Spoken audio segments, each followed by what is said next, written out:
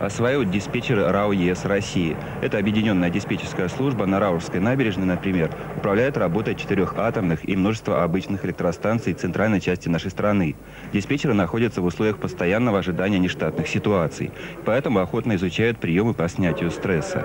Автор метода «Ключ» Хасай Алиев провел здесь всего пять занятий, но результаты уже есть. Он дал э, им возможность э, или научил некоторым упражнениям, которые позволяют им э, расслабиться э, и восстановить свои силы в течение э, буквально считанных минут. Метод ключ не имеет ничего общего со всяким целительством, считает Хасай Алиев. На человека никто не воздействует. Он сам достигает расслабления и при этом раскрепощается. Что лежит в основе этой методики ключ? Подбор ключевых приемов. Например, мы можем сделать обычное движение, сделаем обычное движение.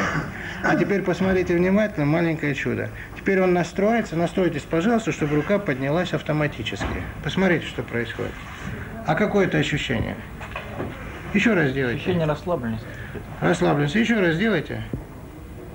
Вот это идиомоторное движение. То есть есть идея и автоматика. Таким образом образуются внутренние связи между нашей волей и автоматикой тела. Потом с помощью этой внутренней связи можно и снять головную боль, и настроиться к деятельности, поднять свою работоспособность. Хасай Алиев был первым, кто помог выйти людям из стрессового состояния после печально известных событий в Кизляре и Каспийске. Сегодня он обучает борьбе со стрессом не только диспетчеров РАО ЕС России, но и специалистов МВД других официальных структур. Хасай Алиев пользуется своим методом и сам. В школе нас учили рисовать как-то. Вот я думаю, что я рисовать не умею.